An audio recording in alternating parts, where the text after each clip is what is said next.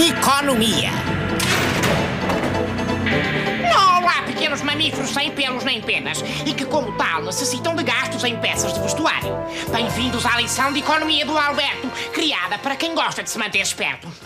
Aqui há tempos, aqui há tempos eu sugeri a criação de um banco de brinquedos na vossa escola. Para quê? Para que possam trocar jogos, filmes e outras brincadeiras que já não utilizam e desta forma, assim, evitar gastar dinheiro em coisas novas. No entanto, para além dos brinquedos, existe outra coisa em que se gasta muito dinheiro e com alguma inteligência e criatividade também se pode poupar. Eu estou a falar da roupa.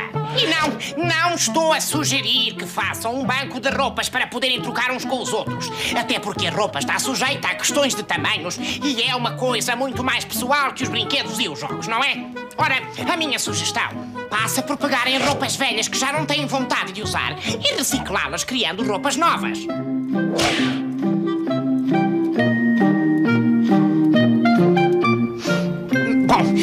Bom, criar um vestido com uma t-shirt não é má ideia. E é precisamente sobre isso que eu estava a falar. Só talvez não seja a coisa melhor para assentar num rapaz, não é? A minha proposta, sim, consiste mais em decorar as peças do que em arranjar maneiras diferentes de as vestir. Ora, pode ser através de pintura de novos motivos ou até mesmo mandando-os tapar em lojas próprias. Também podem fazer aplicações como, por exemplo, flores de pano em calças de ganga antigas ou brilhantes e miçangas em vestidos que já não usam.